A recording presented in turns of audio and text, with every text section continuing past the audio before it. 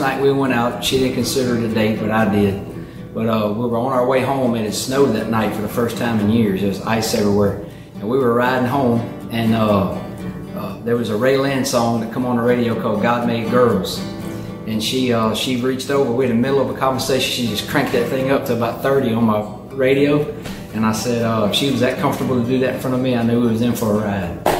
So uh, from starting right then and there, I knew we was in for a treat to be together. So uh, I love you, and I uh, I can't wait to do this with you today.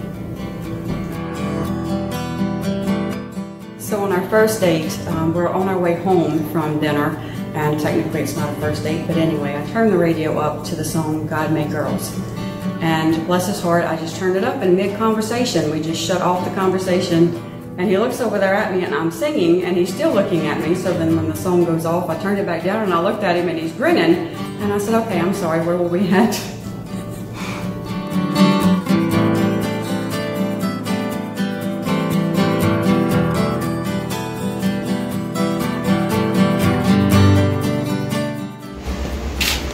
Oh my God, you are beautiful.